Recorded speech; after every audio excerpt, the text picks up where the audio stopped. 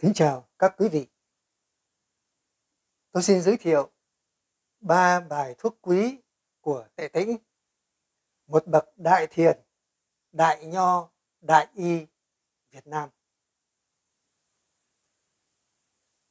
Để dùng thuốc nam chữa bệnh cho người nam, Tuệ Tĩnh đã nghiên cứu những cây cỏ Việt Nam dùng để chữa bệnh, đã siêu tầm ý nghĩa các bài thuốc giản dị thường dùng trong dân gian đã thu thập các kinh nghiệm trị bệnh của Trung y nên đã xây dựng được một sự nghiệp y dược có tính chất dân tộc, đại chúng và sáng tạo trong một thời kỳ mà thuốc Bắc rất thịnh hành. Tuệ Tĩnh đã để lại hai tác phẩm vô cùng quý báu là Hồng Nghĩa Giác Tư Y Thư và Nam Dược Thần Hiệu. Trong hai tác phẩm này có hàng trăm đơn thuốc, nhưng có ba đơn thuốc quý thường được dùng nhất là như ý đơn, tức là bài thuốc chữa được nhiều bệnh vừa ý mình. Hồi sinh đơn, tức là bài thuốc làm cho sống lại để chữa các bệnh nguy hiểm của phụ nữ. Và bổ âm đơn, bài thuốc bổ âm để trị các bệnh như người gầy, khô, nóng, âm ỉ. Nhân dịp sắp đến Tết Giáp Thìn 2024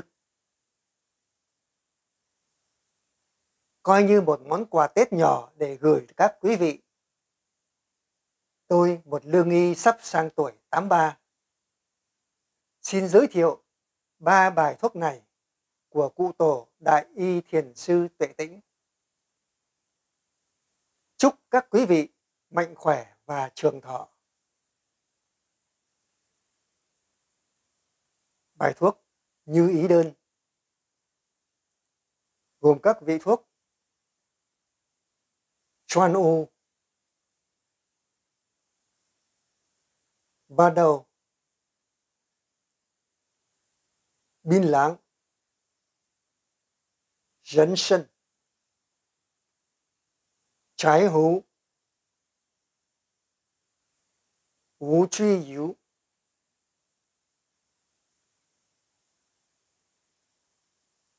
hoa giàu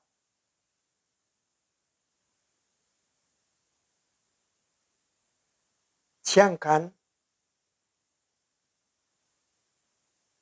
白茯苓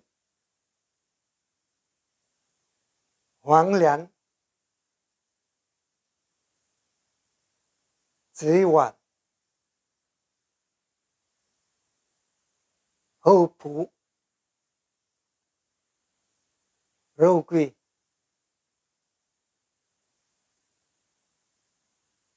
当归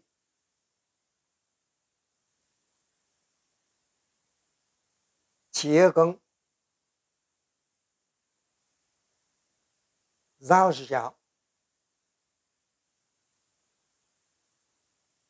trang.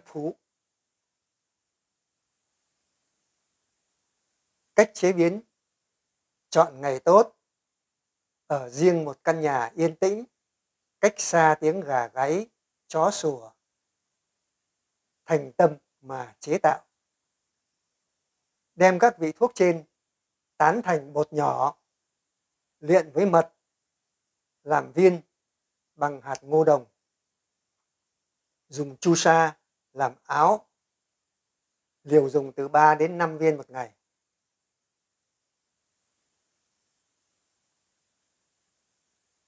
Bài thuốc này chuyên chữa thứ nhất là các chứng bệnh ôn dịch, ma tà, phục thi vì từ bệnh bệnh lao đấy.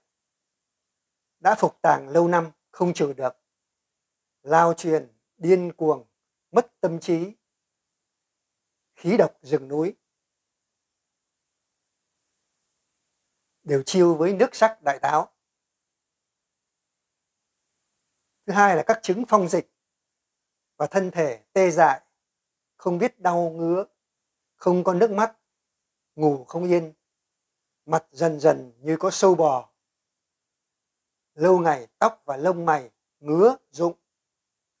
Môi lở răng khô, thiên đầu thống, mụn nhọt, liệt nửa người, hạc tất phong, tức là đau khớp gối đấy, khớp gối đau nhất đều chiêu với nước sắc kinh giới.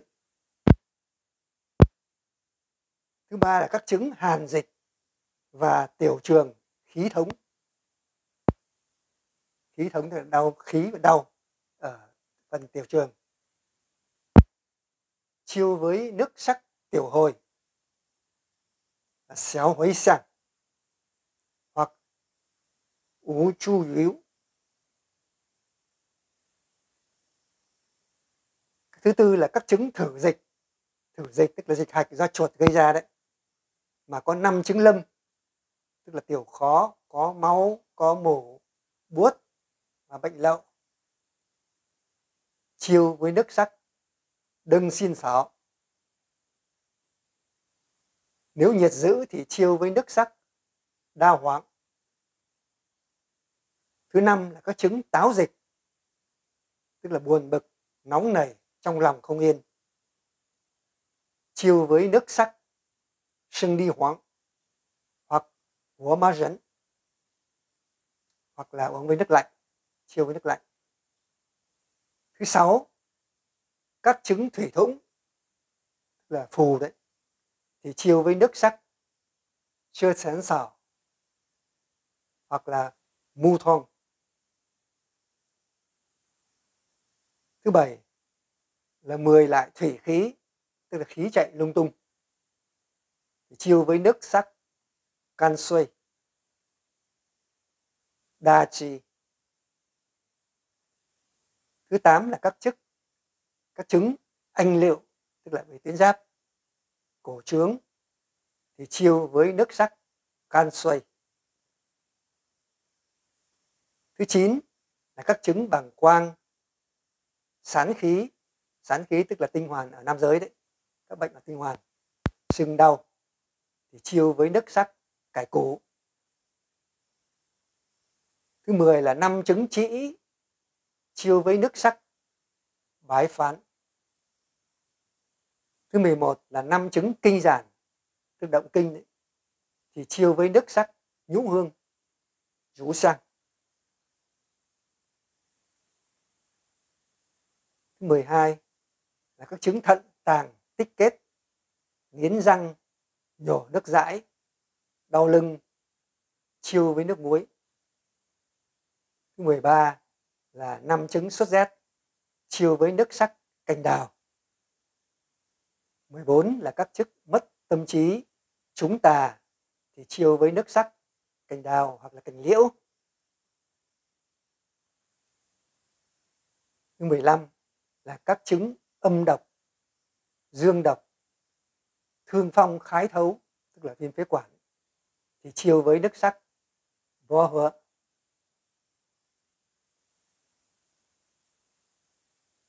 Thứ 16 là năm trứng cam, tức là phù, bụng to, hoặc là tám trứng lệ và các trứng trường phong, tức là hủi. Tạng độc chiêu với cái nước sắc láo mấy